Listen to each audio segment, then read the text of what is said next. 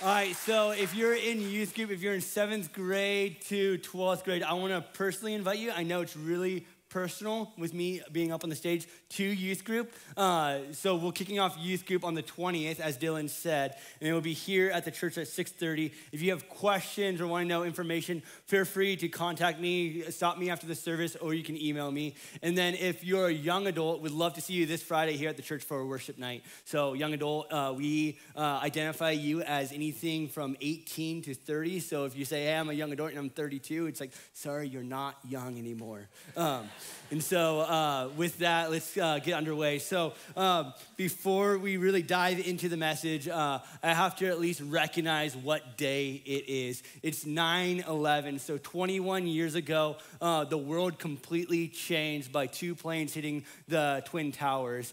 And so, um, in that day, we saw 2,000 plus American lives taken because of a terrorist attack. And it forever altered the way we do and live life. Uh, I was in first grade at the time, so that's either telling you how old I am or how young I am. Uh, I don't know where you fall in that line, but I was in Mrs. Dice class, and I still remember seeing the planes hit the towers. And so, um, before we kick off the message, I just want to honor uh, you people who have served in our government in um, law enforcement and fire department and um, the military and border patrol. So if you fall into any of those categories, if you've ever served in any of those areas, I would like you to please stand as we acknowledge your service uh, here. So if you've served in the military, if you've served in law enforcement, Grandpa, I see you. You're not standing. Please stand. Uh, so sweet. Thank you, Grandpa. Thank you. Thank you for serving our nation. So, with that, I'm just going to pray for you guys and uh, then we'll kick off the message. Dear Jesus, we just praise you. We thank you for our military, God. We praise you. We thank you for our law enforcement. We thank you for our firefighters who serve our nation and help us uh, live a life of liberty, uh, life in liberty and a pursuit of happiness. So, we just, we praise you for them. We praise you and thank you for these uh, men and women who serve our nation to make it a better nation. So, we just, we, we praise you uh, and we thank you um, for bestowing that uh, call on their lives. And so we just pray, pray blessing upon them in your name. Amen. All right, so uh, last week Dana preached on John 4. So if you missed last week, uh, you guys should just go onto the YouTube and check it out. Uh, it's uh, NSC Bellingham, and you should find it. It's, uh, he preached all about spirit and truth. And so he opened up with John 4, basically the woman of Samaria. And her questions of worship. And so we're gonna step right back into that narrative, right, right back into that story of the woman of Samaria. And after she has a proper understanding of what worship is, then what happens after that? Okay? So let's begin with verse 25. And so, just a little context the woman, uh, she had, uh, she was basically um, a woman of the night. She had five husbands. She slept around. Jesus still welcomed her. She was an outcast of the outcast. Jesus still loved her. And he was basically, basically leading her to salvation. And then we pick up in Matthew 5, and she had this question about. Um, worship and he answers it in spirit and in truth. And so let's pick up in verse 25. The woman said to him, I know that the Messiah is coming, he who is called Christ. When he comes, he will tell us all things. And Jesus said to her, I who speak to you am he. So little, uh, we'll stop right there. We're going to go through uh, verse 45, but we'll stop right there for the time being. So, uh, quick question What is uh, Jesus' last name?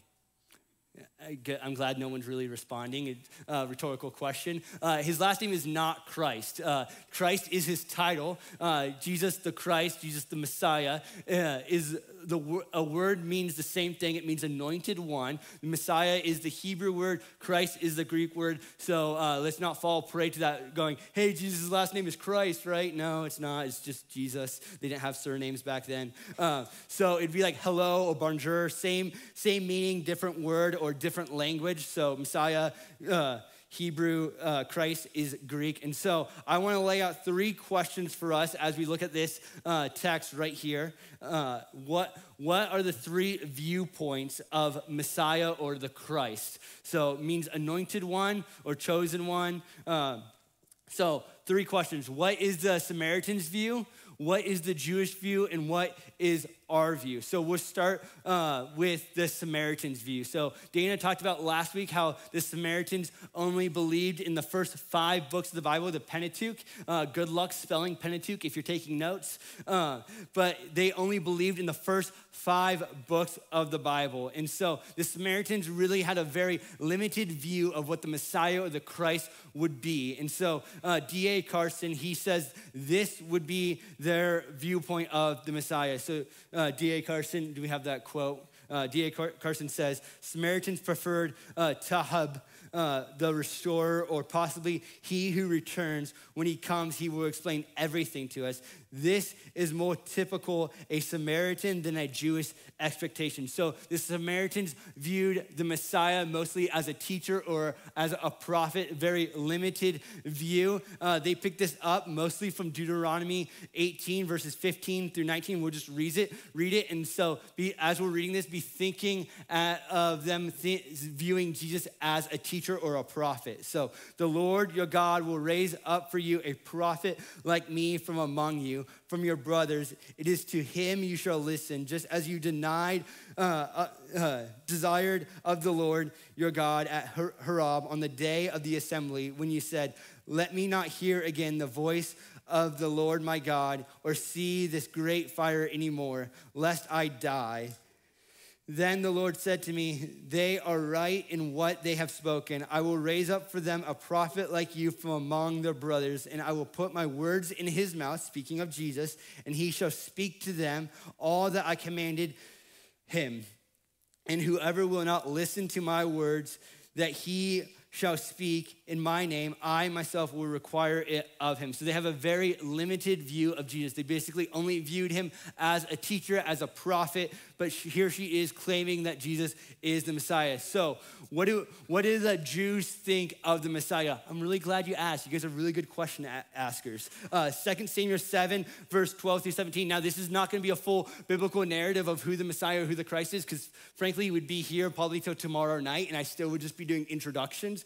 But we're just going to be camping out in Samuel 7, uh, verse 12 through 17, real quick. And we see four promises in this. There's many more promises in it, but we're only going to be focusing focusing on four right now. Uh, the promise of the uh, con- continuity of David's seed, the promise of Yahweh's uh, perpetual faithfulness and mercy in spite of his discipline of David's son, talking about David and Bathsheba, uh, the promise of the unique father son relationship, and the promise of an eternal throne for David. This is why Jesus had to come from the line of David. This is why Jesus was born in Bethlehem. And so, this it, so the shoe is getting smaller and smaller. So if we view the Messiah as the chosen one, the one that was prophesied, the Samaritans have this kind of view, the Jews have this kind of view, and then us as Christians, we obviously have like a very singular view that it has to be Jesus. No one else can be the Messiah, the anointed one. And so the reason why this is so crazy here in verse 26 that Jesus said to her, I who speak to you am he, is because this is the only time in the entire Bible where Jesus claims to be the Messiah himself. I mean, there's other times where he claims like his divineship, but this is the most clear point where Jesus claims to be the Messiah. Uh, Jesus, in all the other gospels, never comes right out and he says that he is the Messiah. For example, in the Gospel of Mark, he uses the title Son of Man, which is playing off of uh, Daniel's uh, prophecy of the Son of Man, and it is he is secretive about it. So when he heals someone, uh, he goes, "Hey, go and tell no one what I have done." He, he's trying to keep it under wraps. Uh, there's a demon-possessed man crying out, "You are the Son of Man," and Jesus rebukes him and silences him and doesn't allow him to speak because Jesus is not ready ready to declare his messiahship yet, but here he is declaring his messiahship. And then the second reason why this is crazy is who he is speaking to. He's speaking to a Samaritan woman, not only just a Samaritan woman, but a Samaritan woman who's an outcast. She's an outcast of the outcast. Like the outcasts don't want her. And Jesus reveals his fulfilled prophecy, his, his anoint, uh, his him being the anointed one right here to a, a, Samaritan woman, an outcast of the outcast. And then the third reason why this is absolutely crazy now, there, there are many I am statements in the Bible, but most famously, there are seven I am statements in the Gospel of John. And so uh, the fact that Jesus claims his messiahship here is another huge thing. So let's just walk through the seven I am statements real quick. Uh, so the first one is I am the bread of life. John 6:35, I am the light of the world. John 8, 12, I am the door. John 10, 7 through 9. Uh, I am the good shepherd. John 10, 11. I am the resurrection and the life. John 11, 25. I am the way, the truth, and the life. John 14, 6. I am the, the vine, and my Father is the vine dresser. dresser. Um, John 15, verses 1 through 5. And then we see right here that Jesus says another I am statement. Uh, the NIV translates the uh, verse 26 as this Then Jesus declared, I, the one speaking to you, I am He. Another I am statement. So, for you parents, how many parents do I have in the room? Show of hands. Sweet. So when your kids come back from Sunday school and they go, hey, there's seven I am statements, you go, no, kid, you're wrong. You're so dumb. There's eight. Uh, don't do that. That's bad parenting. I'm becoming a new father, so don't take parenting advice from me. Uh, but there's eight I am statements, and th- this one is I am the Messiah. And so, what does this mean for us? Mark Strauss, he says this the most significant are his claims to extraordinary authority, speaking about him claiming to be the Messiah, as the inaugurator of the kingdom of God over demons and disease, over the law and the Sabbath to forgive sins, and as the final judge of all people.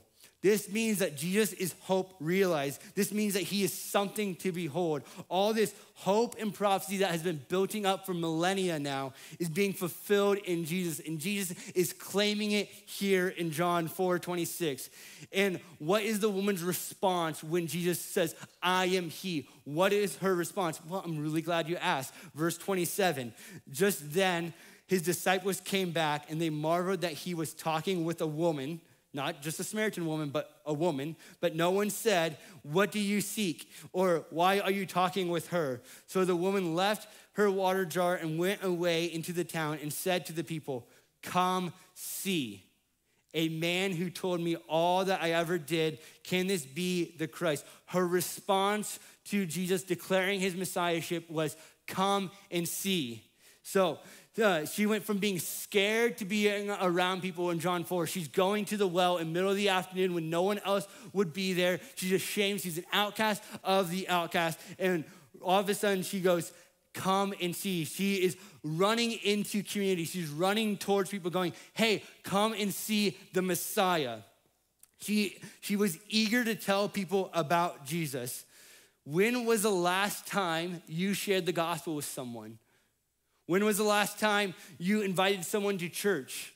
When was the last time you told someone you were a Christian? Are you willing to say, come and see?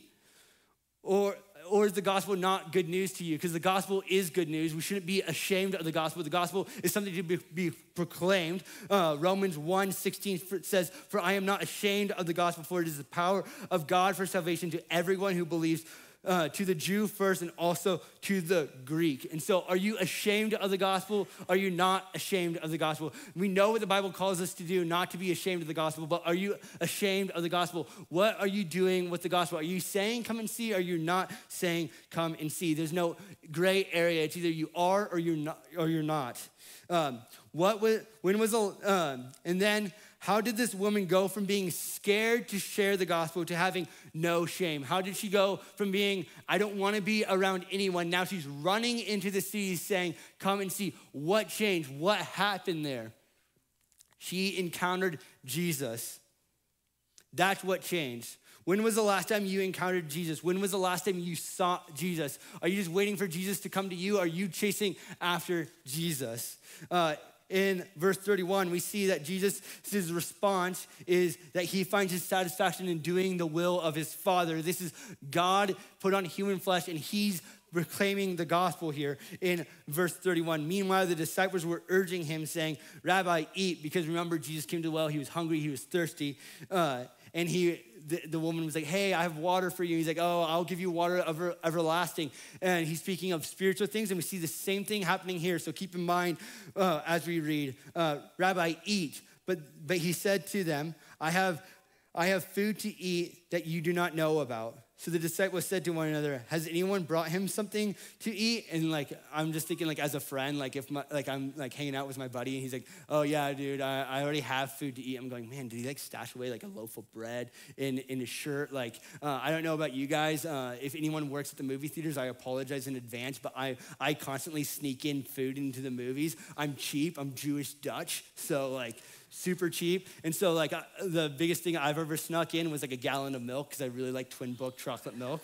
Um, but so, so my thought instantly goes to, hey, did uh, is Jesus like stashing away food? Like maybe, um, but no, he's speaking of spiritual things. And Jesus said to them, My food is to do the will of him who sent me and to accomplish his work. Uh, so let's back up a second. Bread is often used as a representative of this world, meaning it is a thing of our desiring desires of our flesh. And so uh, let's just walk through the biblical theology of bread throughout the scriptures. So uh, Jesus, when he begins his ministry, he uh, goes on a 40-day fast into the wilderness, and uh, the Bible clarifies that he was very hungry. Uh, I just love that about the Bible. That it's like scholars will love to debate every little detail, but here in Matthew, it says like, yeah, he didn't eat for 40 days and he was hungry. Like, it's like, yeah, obviously, I go like 12 hours without eating and I'm starving. Intermittent fasting is horrible. Um, but uh, so Jesus right here, uh, he, he doesn't eat for 40 days and the devil comes to him and he goes, hey, you know, those rocks, I mean, you're God incarnate. Why don't you just turn those into loaves of bread? And Jesus is quoting the Old Testament here. And he says this in Matthew 4 4 Man should not live by bread alone, but by every word that comes from the mouth of God. And then we see again in John 6 uh, 35 an I am statement I am the bread of life, meaning satisfaction is found in Jesus. And then in the Exodus, um, God took the people of Israel off bread, off the dependence on their own works, and made them completely dependent on Him. He was a pillar of fire by night and a cloud uh, by day and he gave them manna, which is bread from the heavens. And we see this in Deuteronomy 8 3. And he humbled you and let you hunger and fed you with manna, which you did not know, nor did your fathers know, that he might make you know that man does not live by bread alone, but man lives by every word that comes from his mouth. Is Jesus your bread? Is your satisfaction being found in Jesus, or is it being found in like avenue bread? What's your satisfaction being found in? Where is your satisfaction coming from? What brings you joy, not happiness, but joy? Joy is long lasting, not built on circumstances. Happiness is temporal and based on circumstances. What is satisfying you? Is it the kingdom of God or is it your own kingdom? God's rule or your rule? Things of this earth or things eternal? What is satisfying you? Because Jesus, what was satisfying him was to do the will of the Father. And you might ask, what is the will of the Father. And I'm really good. You guys are just really good at asking questions this morning. Uh, we see that Jesus answers that in verse 35 through 38. Now, as we read this, pay, pay special attention to reaping and sowing. Uh, do, do you not say there are yet four months, then comes the harvest? Uh, probably December or January. Uh, look, I tell you, lift up your eyes and see that the fields are white for harvest. Already the one who reaps is receiving wage and gathering fruit for eternal life, so that the sower and the reaper may rejoice together. For here the saying holds true one sows and another reaps.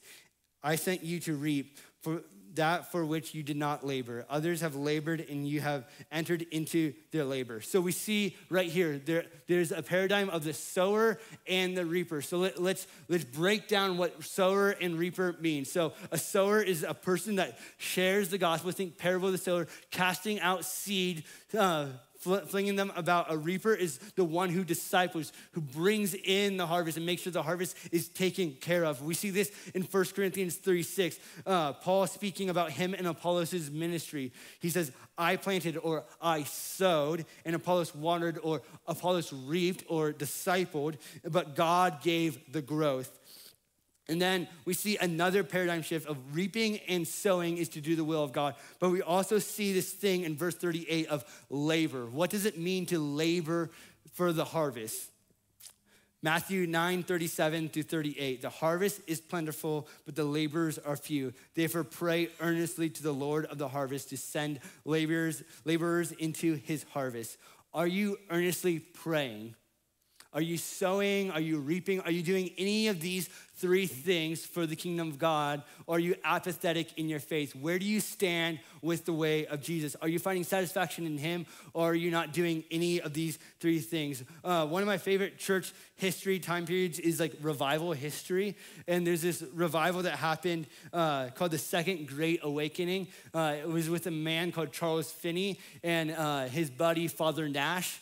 So uh, I think they're a beautiful example of what reaping, sowing, and laboring looks like. So what, what happened was there was a, a great awakening that happened in the New England area. Uh, and basically, uh, Charles Finney was very good at presenting the gospel. Like he could speak, people were wooed and drawn, and people got saved and uh, devoted their lives to Christ because of his preaching. But the secret remedy to his preaching and his ministry was not that he was a great articulate speaker. The secret to his ministry was Father Nash.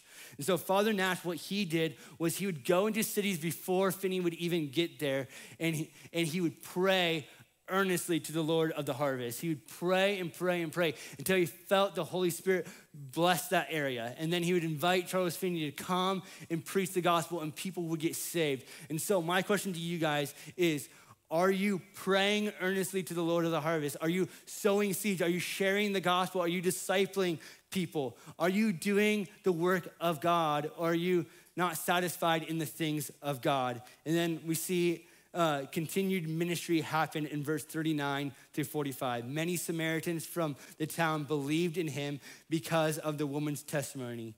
He told, told me all that, that I ever did. So when the Samaritans came to him, they asked him to stay with them. And he stayed there two days, and many more believed because of, the, of his word. word. And they said to the woman, It is no longer because of what you have said that we believe, for we have heard for ourselves, and we know that this is indeed the Savior of the world. After two days, he departed for Galilee, for Jesus himself had testified that a prophet has no honor in his hometown. So when he came to Galilee, the, Ga- uh, the Galileans welcomed him, having seen all that he had done in Jerusalem at the feast, for they too had gone to the feast. So, the question I want to pose with this final passage is where do you do ministry?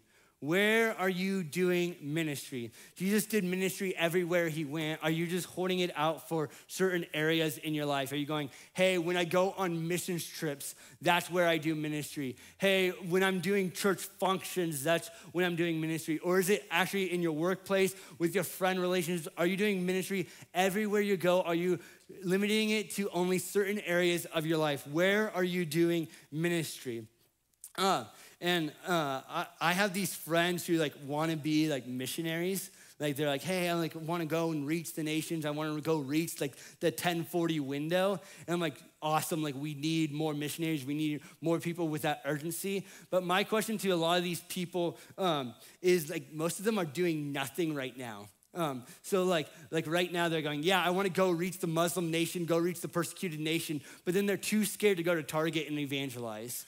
Or, or, they're too scared to go to Western and do a prayer walk. And they're not even serving their local church. So where are you doing ministry? And they're like going, hey, Andrew, give me 20 bucks a month to support me on my mission trip. I'm like, dude, you're not even doing missionary work here. How do I expect you to go to the nations? And we know that the call of Jesus is first to our area and then to the nations. Acts 1 8 uh, he called them first to Jerusalem and then to the ends of the earth. So begin your ministry here, not there. Begin it here. And so uh, I want to bring up two myths that we believe as Christians. Uh, the first myth, if we have that slide, is I have to leave in order to be used by God. Uh, what this one sounds like is I can't be around my non Christian friends anymore. I have to only be around Christian community. Um, I can't, can't be around those people anymore. I have to leave. Um, now, obviously, a caveat to this if they're causing you to sin, like if you're going from like being like an opium addict and your friends like, hey, let's hang out in the opium den, like obviously, like don't do that. Like, so if they're causing you to sin, don't do that. But us as Christians, we often believe that if uh, I have to leave in order to be used by God. And uh, there is a case biblically to be made for this. And so let's present the case being made for this myth. And so uh, we see it here in verse 44 and throughout the Gospels that Jesus says this A prophet is not without honor except in his hometown and in, and in his own household. And so we often go, man, if Jesus wasn't welcomed in his hometown, how am I going to be welcomed in my ho- hometown, right? And then it's backed up by Paul. So the testimony of Paul uh, goes like this Paul got saved. Uh, he was a persecutor of the church, oversaw the martyr of Stephen, uh, was walking to to Damascus to go kill Christians, uh, destroy the church. And Jesus meets him. He's like, I am the one you are persecuting. And uh, Paul just goes, Oh, I'm sorry, and repents and changes his way. And he starts sharing the gospel in Damascus. Uh, persecution comes. He has to flee in a basket out the city wall. And then we pick up in Galatians 1, verse 15, if we have that slide.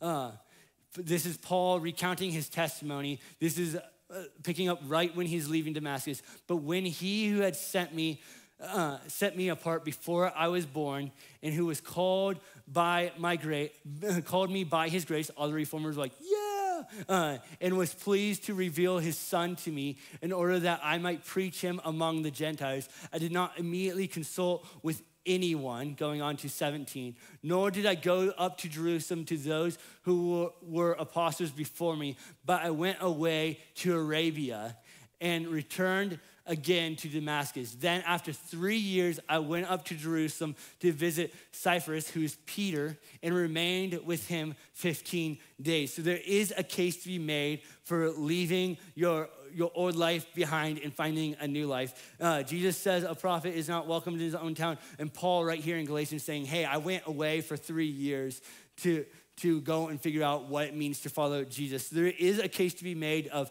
you have to leave in order to find Jesus, but there's also a case against it. And so the case against it comes right here in this passage.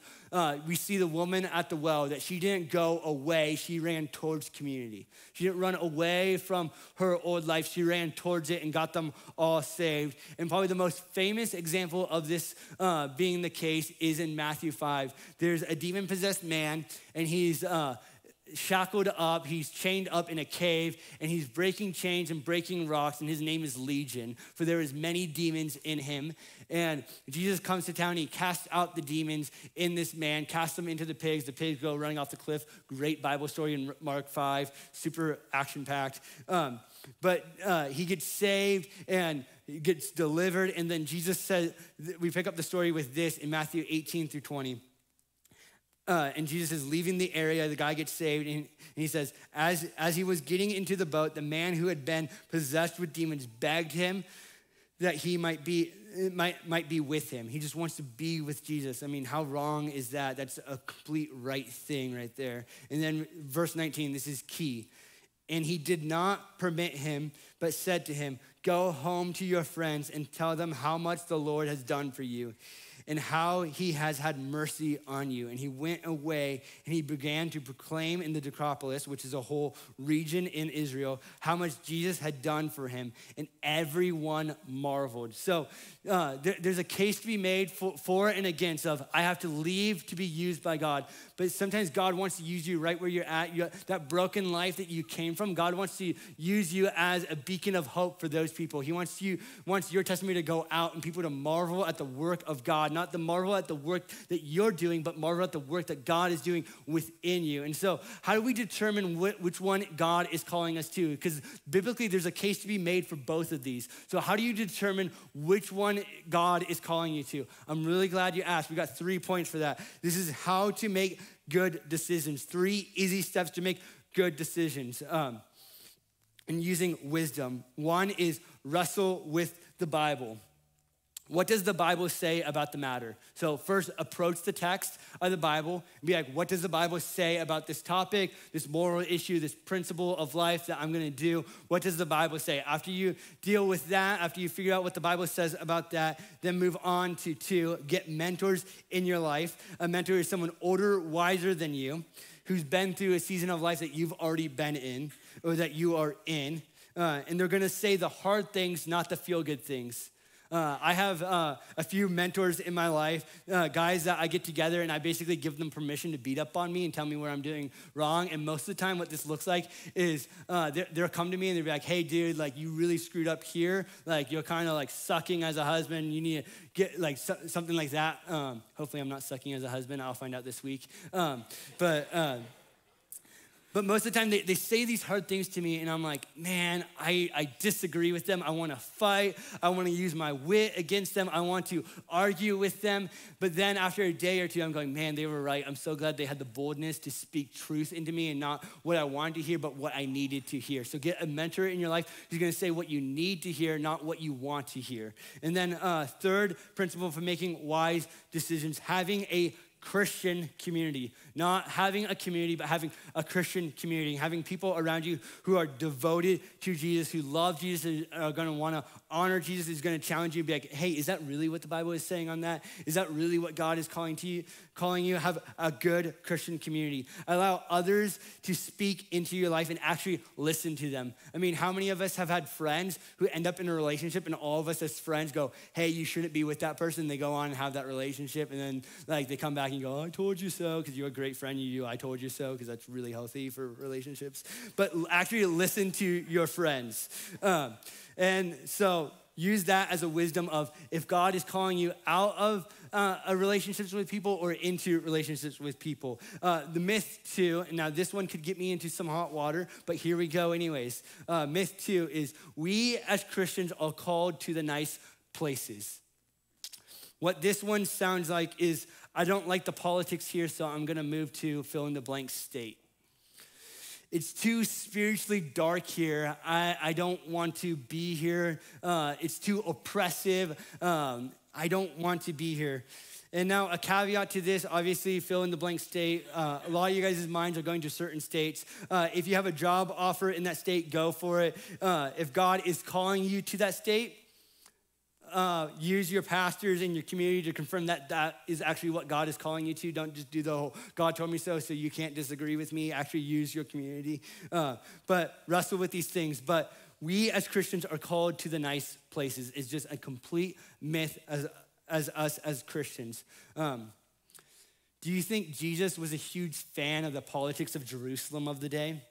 Like, do you think he really agreed with the Pharisees? Do you really think he agreed with Herod? Like, do you think Jesus agreed with the politics? I mean, he got so angry about the politics that he made whips and flipped over tables because he was outraged by what they were doing in the temple. So, Jesus was not a fan of the politics of the day. Do you think Paul was a fan of Rome's politics around religion? Like, I mean, he got beaten and thrown into prison because of their political ideologies. Like Paul, Jesus were not a fan of the politics of the, uh, of the areas they were living in. Uh, John, do you think he really loved Patmos? Like he's like, man, I really agree with the politics. Man, I'm fully bought on. And yeah, tar and feather me, I'm totally for that. No, they absolutely were not a fan of their politics of the day. We as Christians are called not to, to the nice places, but to the hard places. When it's spiritually dark, we are called to those spots.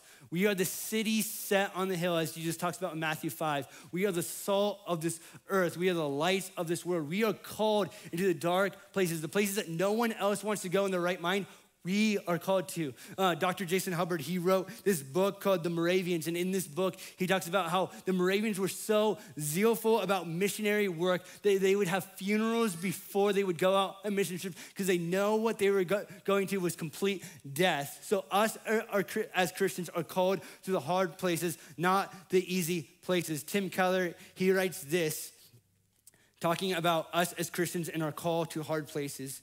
God called the Jewish exiles to embrace the tension of the city for the sake of God's glory. And this is exactly what today's Christians are called to do as well. We are broken people called to broken places to bring the gospel to restore those places.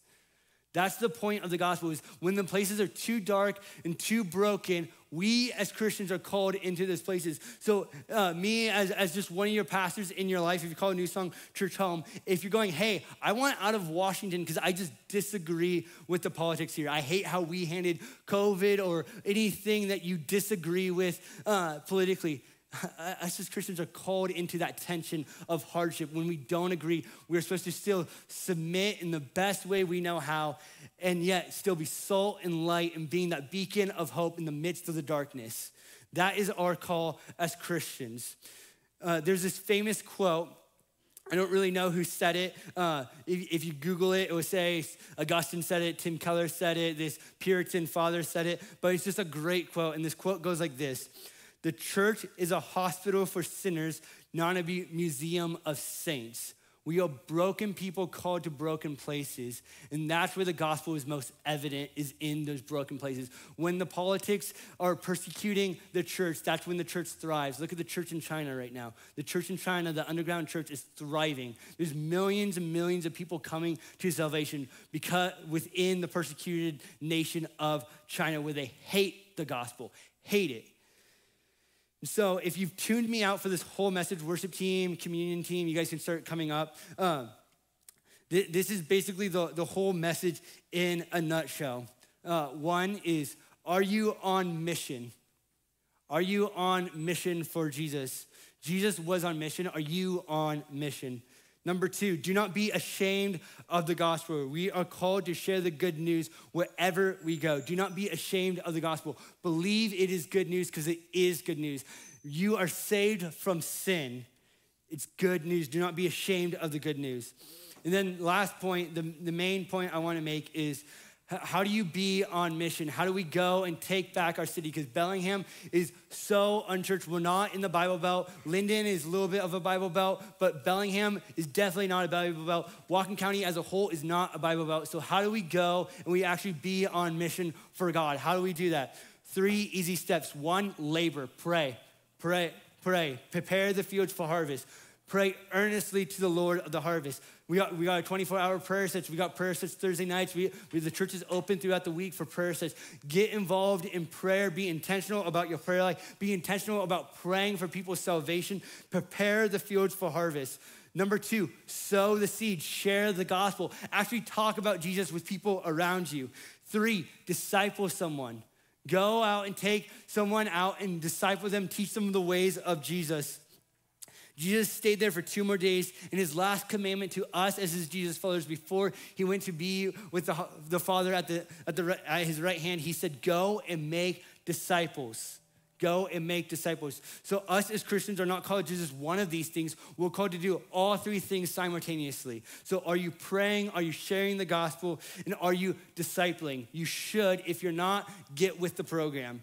And so Jesus is calling us to the hard area. Step into that uncomfortability. You're going, hey, it's awkward. I'm gonna look weird sharing the gospel. Yeah, you are, but it's wonderful. Go and do it. And if you're wanting to get involved in street evangelizing, I, I would love to teach you. I would love to take you under my wing. Uh, I, I, lead uh, our young adult ministry called Harvest. And basically, what we're trying to do right now is uh, Western's about to go into campus. Uh, they're about to go into school session uh, uh, like the week of the 22nd. And basically, my goal is to go and be that weird preaching guy up there. I'm not going to do like the soapbox thing. I'm just going to go up to people and be like, hey, like, what's your worldview? Are you an atheist? Are you a theist? And just trying to get spiritual conversations going. So, are you sowing these seeds? Are you sharing the gospel? Are you going to to the lost? Does your heart not break for these things? And so Jesus is calling us into the uncomfortability. And are you willing to answer that call? And so I'm going to pray for us, and Taylor's going to lead us in a time of communion. So, dear Jesus, we just praise you. We thank you that you came and you preached the gospel. You stepped down into this earth. You became uh, sin who knew no sin, and you put sin to death. So we just we praise you, Jesus. We praise you that you showed us what the gospel is. It's because you defeated death, sin, shame, condemnation that we are able to live this life. So we just pray right now for Whatcom County. God, we pray for Bellingham. We pray for the unchurched, the D church, God. We just pray that you just grab a hold of our lives, God. I pray for ourselves, God. I pray that you just give us boldness, that you imbued us with a boldness to share your gospel, that you give us a desire and earnestness to pray for, for for people to get saved, God. So I just pray that you just highlight people to share the gospel to us, that you highlight people that we can disciple, highlight people we can be praying for. So, God, just come and convict us. In your name we pray. Amen. Hey, would you?